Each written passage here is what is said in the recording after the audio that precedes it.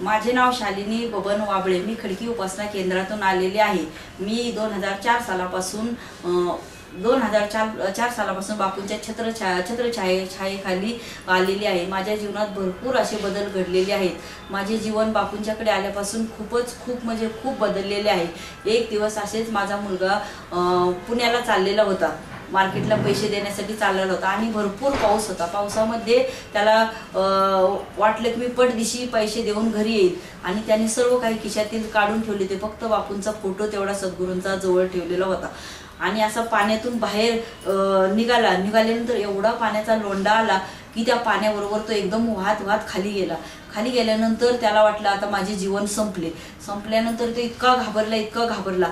आणि काय चमत्कार बापूंनी त्याला एकदम असा आठवण दिली की काय असं मला काही कळत जाणवतं. की तो मोठ्याने ओरडला बापू मला वाचवा बापू मला वाचवा. बापूंनी तिसऱ्या हाकेला असल्या वाहत्या पाण्यातून माझ्या मुलाला एकदम हात असे झाडाची फांदी हाताला दिली. हाताला दिल्यानंतर ती फांदी पण सुटली. तरी पण तो घाबरला नाही. बापूंचा जप त्याने सारखा चालूच ठेवला.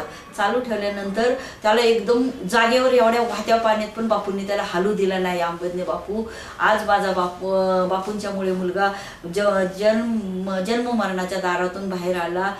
व आता तो खूप सुखी आहे. आंबदने बाबू तुमच्यामुळे माझं सर्व कुटुंब एकदम सुखी आहे आनंदी आहे. माझा परिवार खूप खूप आनंदी आहे. आंबदने बापू हरिओम. जय जगदंब जय दुर्गे. जय जगदंब जय दुर्गे.